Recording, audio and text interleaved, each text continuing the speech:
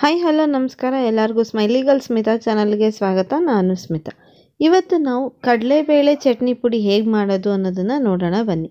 ಅದಕ್ಕೂ ಮೊದಲು ನೀವು ಹೊಸಬ್ರಾಗಿದ್ದು ಇನ್ನೂ ನನ್ನ ಚಾನಲ್ಗೆ ಸಬ್ಸ್ಕ್ರೈಬ್ ಆಗಿಲ್ಲ ಅಂದರೆ ಪ್ಲೀಸ್ ನನ್ನ ಚಾನಲ್ಗೆ ಸಬ್ಸ್ಕ್ರೈಬ್ ಆಗಿ ಹಾಗೆ ಪಕ್ಕದಲ್ಲೇ ಇರುವಂತಹ ಬೆಲ್ ಐಕಾನ್ನ ಪ್ರೆಸ್ ಮಾಡೋದನ್ನು ಮರಿಬೇಡಿ. ಈಗ ಚಟ್ನಿ ಪುಡಿ ಹೇಗೆ ಮಾಡೋದು ಅಂತ ನೋಡೋಣ ಬನ್ನಿ. ಮೊದಲಿಗೆ ಒಂದು ಪ್ಯಾನ್ಗೆ ನಾನು ಒಂದು ಕಪ್ಪಷ್ಟು ಕಡಲೆಬೇಳೆನ ತೊಗೊಳ್ತಾ ಇದ್ದೀನಿ. ಕಡಲೆಬೇಳೆನ ಕೆಂಪಗಾಗೋವರೆಗೂ ಹುರಿದು ಇದನ್ನು ಇಟ್ಕೋಬೇಕು.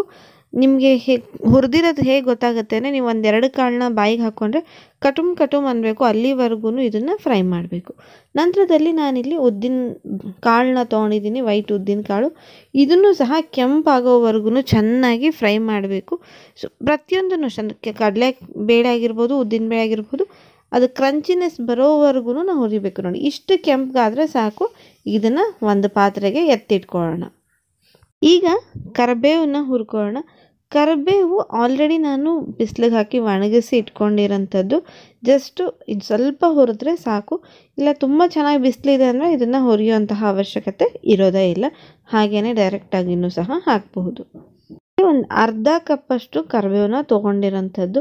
ಸೊ ಅರ್ಧ ಕಪ್ಪು ಸಾಕಾಗುತ್ತೆ, ಅದಕ್ಕಿಂತ ಜಾಸ್ತಿ ಬೇಕಾಗಲ್ಲ. ಅವಾಗ ಜಾಸ್ತಿ ಕರಿಬೇವನ್ನೇ ಫ್ಲೇವರ್ ಬಂದಂಗೆ ಅನಿಸುತ್ತೆ. ಸೊ ಇದು ಕರಿಬೇವು. ನಂತರದಲ್ಲಿ ಒಂದು ಸಣ್ಣ ನಿಂಬೆಹಣ್ಣು ಗಾತ್ರದಷ್ಟು ಹುಣಸೆ ಹಣ್ಣನ್ನು ತೊಗೊಂಡಿದ್ದೀನಿ. ಇದನ್ನು ಸಹ ಈಗ ಚೆನ್ನಾಗಿ ಫ್ರೈ ಮಾಡ್ಕೋಬೇಕು. ಫ್ರೈ ಮಾಡೋ ಉದ್ದೇಶ ಏನಕ್ಕೆ ಅಂದರೆ ಮಿಕ್ಸಿಲಿ ಬೇಗ ನುಣ್ಣಗಾಗುತ್ತೆ ಅಂತ, ಇಲ್ಲ ಅಂದರೆ ಅದು ಹಾಗಾಗಿ ಗಟ್ಟಿ ಗಟ್ಟಿ ಉಳ್ಕೊಳ್ಳುತ್ತೆ. ಹಾಗಾಗಿ ಇದನ್ನು ಸ್ವಲ್ಪ ಫ್ರೈ ಮಾಡೋದು ಗಟ್ಟಿಯಾಗುತ್ತೆ ಅಂತ. ಈಗ ಖಾರಕ್ಕೆ ನಮಗೆ ಎಷ್ಟು ಬೇಕೋ ಅಷ್ಟು ಮೆಣಸಿನ್ಕಾಯಿನ ಯೂಸ್ ಮಾಡ್ಕೋಬೋದು. ನಾನಿಲ್ಲಿ ಬ್ಯಾಡಗಿ ಮೆಣಸಿನ್ಕಾಯಿನ ಯೂಸ್ ಮಾಡ್ತಾಯಿದ್ದೀನಿ ಹಾಗಾಗಿ ಸ್ವಲ್ಪ ಜಾಸ್ತಿ ಅಂತ ಅನ್ನಿಸ್ಬೋದು. ಸೊ ನೀವು ಏನಾದರೂ ಗುಂಟೂರು ಮೆಣಸಿನ್ಕಾಯಿ ಯೂಸ್ ಮಾಡ್ತಾಯಿದ್ರೆ ನಾಲ್ಕರಿಂದ ಐದನ್ನ ಯೂಸ್ ಮಾಡ್ಕೋಬೋದು. ಇಲ್ಲ ನಿಮಗೆ ಖಾರ ಜಾಸ್ತಿ ಬೇಕು ಅನ್ನೋರು ಇನ್ನೂ ಜಾಸ್ತಿ ಯೂಸ್ ಮಾಡ್ಕೋಬೋದು ಮೆಣಸಿನ್ಕಾಯಿ ನಿಮ್ಮ ಖಾರಕ್ಕೆ ಅನುಗುಣವಾಗಿ. ಮೆಣಸಿನ್ಕಾಯಿನೂ ಸಹ ನಾವೀಗ ಚೆನ್ನಾಗಿ ಫ್ರೈ ಮಾಡಬೇಕು. ಅದನ್ನು ಕ್ರಿಸ್ಪಿನೆಸ್ ಬರಬೇಕು. ಆ ಅಲ್ಲಿವರೆಗೂ ಸಹ ಇದನ್ನು ಚೆನ್ನಾಗಿ ಈಗ ಫ್ರೈ ಮಾಡ್ತಾ ಹೋಗಬೇಕು.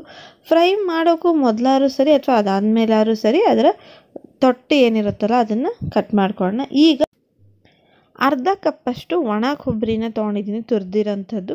ಇದನ್ನು ಸಹ ಚೆನ್ನಾಗಿ ಫ್ರೈ ಮಾಡಬೇಕು. ಇದನ್ನು ಎಷ್ಟು ಚೆನ್ನಾಗಿ ಫ್ರೈ ಮಾಡ್ತೀವೋ ಅಷ್ಟು ನಮ್ಮ ಚಟ್ನಿ ಪುಡಿ ಚೆನ್ನಾಗಿರುತ್ತೆ, ಇಲ್ಲಾಂದರೆ ಚಟ್ನಿ ಪುಡಿ ಬೇಗ ಹಾಳಾಗುವಂತಹ ಚಾನ್ಸಸ್ ಇರುತ್ತೆ. ಸೊ ಈಗ ನೋಡಿ, ಎಲ್ಲ ಹುರಿದಿರೋದು ತಣ್ಣಗಾಗಿದೆ, ಒಂದು ಪಾತ್ರೆಯಲ್ಲಿ ಹಾಕಿ ಇಟ್ಟಿದ್ದೆ ನಾನು.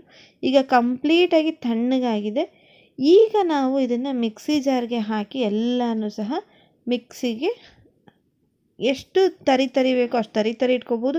ಇಲ್ಲ, ನಮಗೆ ಕಂಪ್ಲೀಟಾಗಿ ನುಣ್ಣಗೆ ಬೇಕು ಅನ್ನೋದಾದ್ರೆ ನುಣ್ಣಗೆ ಇದನ್ನು ಮಿಕ್ಸಿ ಮಾಡ್ಕೋಬೋದು. ಈ ಹಂತದಲ್ಲಿ ನಾನು ಇದಕ್ಕೆ ಇಂಗನ್ನು ಸಹ ಹಾಕ್ತಾ ಇದ್ದೀನಿ. ಸೊ ಇದಿಷ್ಟು ಹಾಕಿ ಈಗ ಚೆನ್ನಾಗಿ ಮಿಕ್ಸಿ ಮಾಡಿಕೊಂಡು ಬರೋಣ.